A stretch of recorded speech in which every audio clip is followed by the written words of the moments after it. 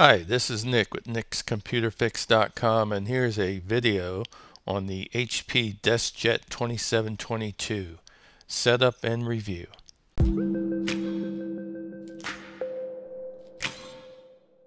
What comes in the box? First thing we have is the HP DeskJet 2722 printer itself. Then we have two ink cartridges, a power cord, and some literature as well as the setup guide. And then we can go ahead and remove some of the packing tape here and open up the output paper tray and also open up the input paper tray. And as we can see, we can remove the film underneath the scanner as well. Alright, now the first thing that we're supposed to do is follow these three steps. And the first step is to power up the printer by plugging in the power cord here. We'll turn the printer around very quickly and plug that in there and plug the other end of the plug into an AC wall outlet. Now let's go ahead and press the power button on the printer here and power it up. And you will see the power light blink a couple of times and then the LED light will come on. And also at the same time, the two ink cartridges slots in the printer will center up to allow the insertion of the ink cartridges into the new printer. But first, let's go ahead and put some paper into the input tray here, and then we can come back and install the new ink cartridges that came with our new printer here and the first one on the left is a tricolor cartridge and the one on the right is a black cartridge and we're going to go ahead and unpackage these very quickly and insert them into the ink cartridge slots within the printer itself. And while I'm doing this, let me point out one or two things. Historically, ink cartridges can be messy, so be careful how you're handling them. You could possibly get some ink on your fingers and also that they are a real pain in the butt to insert into the ink cartridges slots because they only go in in one way and one way only and sometimes you got to jiggle them a little bit in order to get them to be angled just right so that they will fit into the uh, slots correctly. And as you can see, I did have a little bit of a difficult time putting the black one in just because I didn't have the angle right when I was inserting it into the ink cartridge slot. But keep in mind that a good indicator that you've inserted them correctly into the slots is that just prior to them being placed in the proper position, they make a little snapping noise to let you know that they're in there securely and locked in position. Now let me very quickly point out that there's a little picture down here that shows um, you know that the tricolor cartridge goes on the left and the black cartridge goes on the right. Once you're finished inserting the cartridges you can go ahead and close the lid here and then we can go over to the computer and open up an internet browser where we can download and install the HP Smart software. And this is the URL address right here, 123.hp.com. Okay, let's go down here now and we'll type in the product number. And in this case, it's going to be the HP space DeskJet space 2722. And once you have that typed in, go ahead and click on Next. And that takes us to our next page here where we can one make sure your printer is powered on, two install HP Smart to complete setup. Now keep in mind if you had a smartphone like an Apple, you could install your um, HP Smart from your App Store, or if you had an Android, you can definitely go to Google Play and install it.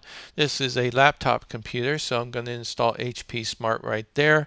And it takes me to the Microsoft Store, which is okay. That's where we need to get the HP Smart software from.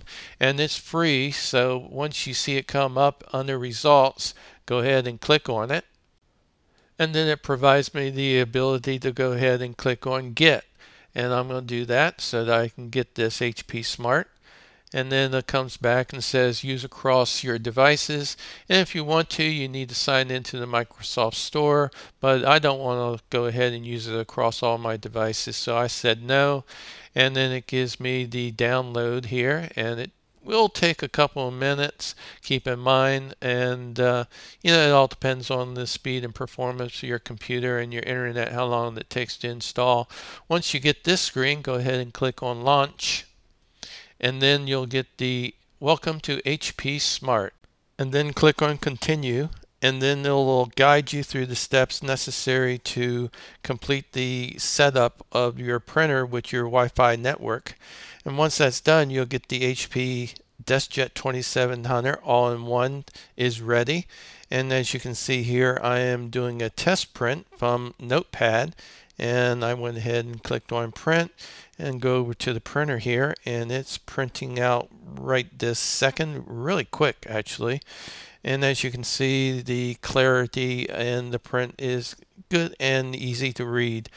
And now you can see that I am printing another page here and this happens to be a print head alignment page. Now whenever you get a new printer and you want to get the best print quality you need to align your print heads and this is how you do it. You print this out first and then once you have it printed out you can go ahead and put it in the scanner and it scans it for you and then it aligns the print heads for you automatically.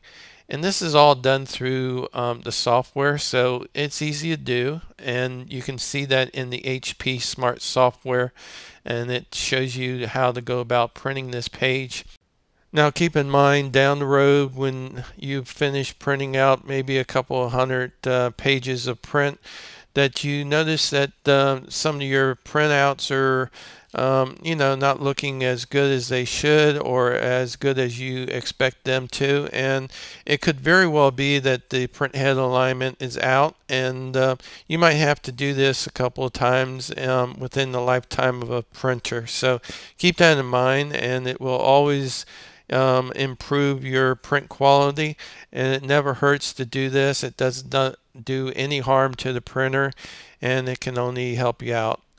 Okay um, that's um, some really nice printouts there and let me go ahead and grab that off the top and as you can see the print quality is very good. The printouts look great to me.